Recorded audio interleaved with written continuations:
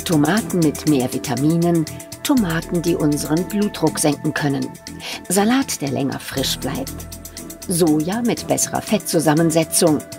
Neue Gentechnikmethoden machen es möglich. In den USA, Japan und China ist das schon Realität. Bei uns noch nicht. Aber das wird sich womöglich bald ändern. Die bisherigen strengen Regulierungen in der EU sollen aufgehoben werden. Forschende wie Robert Hoffi stehen bereit. Er ist begeistert von den Möglichkeiten der Technik. Mit nur einem Eingriff in das Genom von Gerstenpflanzen konnte er diese resistent machen gegen eine bedeutende Pflanzenkrankheit, das Gelbmosaikvirus. Die Art der Veränderung, die wir erzeugen, ist identisch mit dem, was auch durch natürliche Mutationen passiert oder eben durch alte Züchtungstechniken. Dennoch wollen laut Umfragen rund 80 Prozent der Deutschen keine gentechnisch veränderten Lebensmittel. Auch nicht solche, die mit neuen Methoden hergestellt wurden. Doch ein neues EU-Gesetz soll diese neuen Techniken nun fast ohne Auflagen gestatten. Unverständlich findet das Bundesamt für Naturschutz, eine der Zulassungsbehörden für gentechnisch veränderte Organismen. Vorgeschlagen ist, dass man mehr oder weniger fast alle Pflanzen nicht mehr anguckt, nicht mehr anschaut, sondern ähm, nachdem man sie angemeldet hat, freisetzt. Ähm, und das heißt, ich mache keine Risikobewertung mehr also keine Überprüfung auf Gesundheits- und Umweltrisiken. Robert Hoffi und viele Forschende in Deutschland und weltweit sehen darin kein Problem. Ganz im Gegenteil unterstreichen sie die Chancen für die Landwirtschaft. Vor allem mit Blick auf die Herausforderungen durch den Klimawandel, mehr Schädlinge und Pflanzenkrankheiten. Großes Potenzial sehe ich im Bereich der Resistenzzüchtung. Das heißt, dass wir Pflanzen widerstandsfähiger machen können gegen Krankheiten. Ähm, weil wir eben für viele Krankheiten Gene kennen in den Pflanzen, die die Pflanzen anfälliger machen und die wir dann eben so verändern können, dass die Pflanzen widerstandsfähiger sind gegen diese Krankheitserreger. Das sei zu kurz gedacht, argumentiert der Biolandbau und lehnt Gentechnik als zu eindimensional ab. Wenn Sie Gentechnik einsetzen, hat es meistens zur Folge, dass die Pflanze, die gentechnisch verändert wird, möglichst ähm, identisch ähm, weiter vermehrt wird, dass da Patente drauf sind und dass dann in einem Acker nur eine gentechnisch veränderte Pflanze steht. Und dann öffnen wir Tür und Tor den Schadorganismen, die sich dann anpassen können, die sich schnell anpassen können und dann eben große Epidemien auslösen. Kritiker befürchten zudem, dass für Verbraucher nicht mehr erkennbar sein wird, was Gentechnik ist und was nicht. Letztendlich könnte ganz Deutschland Gentechnikzone werden, mit Ausnahme der Biobetriebe. Doch was genau hat es mit den neuen Methoden der Gentechnik auf sich? Robert Hoffi und sein Team haben eine davon genutzt. Mit CRISPR-Cas haben sie genau das Gen abgeschaltet, welches das krankmachende Gelbmosaikvirus zu seiner Vermehrung in der Pflanzenzelle braucht. Und das geht so. Zu unreifen Gerstenkörnern geben sie kurze Gensequenzen. Zusammen mit einer Art Schere gelangen sie über einen Transportmechanismus in den Zellkern. Dort docken sie passgenau an dem Gen an, das abgeschaltet werden soll. Die molekulare Schere schneidet die Erbsubstanz dann exakt an dieser Stelle durch. Die Pflanze versucht daraufhin ihr Erbgut zu reparieren. Dabei passieren häufig Fehler, Mutationen. Einige führen dazu, dass das Gen nicht mehr funktionstüchtig ist. Es ist abgeschaltet. Mit diesen resistenten Exemplaren züchtet der Forscher dann weiter.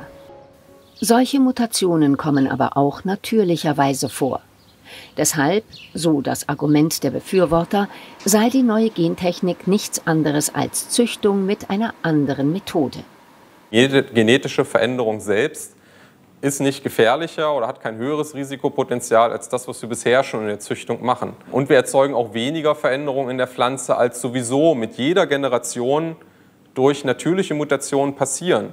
Also wir machen eine Veränderung mit der Genschere und gleichzeitig passieren pro Generation sowieso als Faustzahl ungefähr 50 Veränderungen im gesamten Genom der Pflanze. Und die 51. Veränderung oder die 51. Mutation ist jetzt die, die kritisiert wird. Doch das sei gar nicht der entscheidende Punkt, sagt die Biologin und Agrarwissenschaftlerin Maria Fink. Widerstandsfähige Pflanzen seien ganz ohne Gentechnik möglich und das viel nachhaltiger. Die ökologische Landwirtschaft ist ja ein Systemansatz, der wirklich sagt, das ganze System muss zusammenwirken, die Kreisläufe vom Boden über die Pflanzen, über die Luft. Und ähm, die Landschaft spielt eine Rolle, die Vielfalt im Feld und alles. Und da eine Pflanze eine unendliche Anzahl von assoziierten Mikroorganismen hat, die notwendig sind für die Gesundheit der Pflanze, muss man die Pflanze als ein großes ähm, symbiotisches System mit ihren Mikroorganismen sehen. Inzwischen weiß man zum Beispiel, dass der Boden mit den Mikroorganismen um die Wurzeln der Pflanzen herum nicht nur ihrer Ernährung dient, sondern auch ein Teil des Immunsystems der Pflanzen ist, sie also widerstandsfähiger macht. Man muss das vergleichen ein bisschen wie mit unserem Verdauungsorgan. Wenn bei uns in unserem Verdauungsorgan, das ja pickepacke voll mit Mikroorganismen ist, die Zusammensetzung der Mikroorganismen nicht stimmt, dann werden wir krank. Und ähm, dasselbe passiert mit den Pflanzen, wenn im Boden die Zusammensetzung der Mikroorganismen nicht stimmt. Deshalb verfolgt der Biolandbau einen ganz anderen, traditionellen Ansatz, um Pflanzen fit für den Klimawandel zu machen. Eine schonende Bodenbearbeitung zum Erhalt der Bodenorganismen gehört dazu. Ebenso ein ganzjähriger Bewuchs und eine besonders vielfältige Fruchtfolge. Sie verhindert, dass Krankheitskeime und Schädlinge überdauern können und der Boden auslaugt. Solch eher traditionellen Methoden stehen die neuen Techniken um die Genschere CRISPR-Cas gegenüber.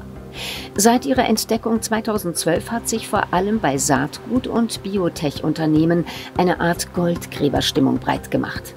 Denn schon mit einer einzigen gezielten Veränderung im Genom können die Pflanzeneigenschaften beeindruckend verändert werden.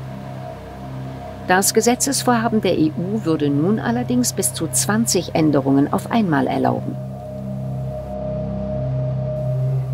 Damit könnten mehrere Gene ab- oder angeschaltet, Basenpaare entfernt und an anderer Stelle eingefügt oder genetische Informationen einer verwandten Art eingesetzt werden. Doch was könnte hierbei passieren? Verschiedene Szenarien sind denkbar. Die Pflanzen produzieren giftige Stoffe gegen Schädlinge. Das ist gewollt, aber die Giftstoffe wirken womöglich nicht so zielgerichtet wie gedacht sondern schädigen oder töten auch andere nützliche Insekten.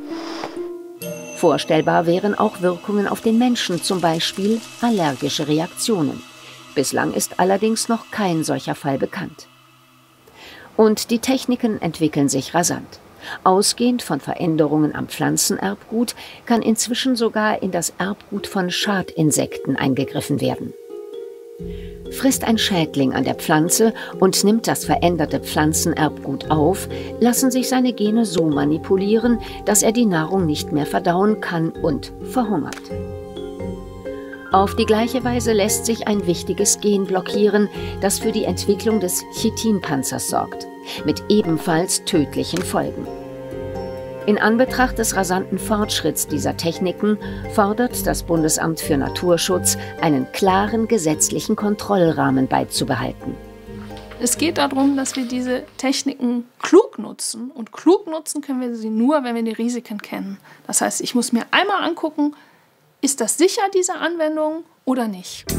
Vor allem, weil durch die neue Gesetzgebung sogar Wildpflanzen ohne Auflagen gentechnisch verändert werden durften zum Beispiel um klimaresistentere Bäume, Büsche und Gräser zu züchten.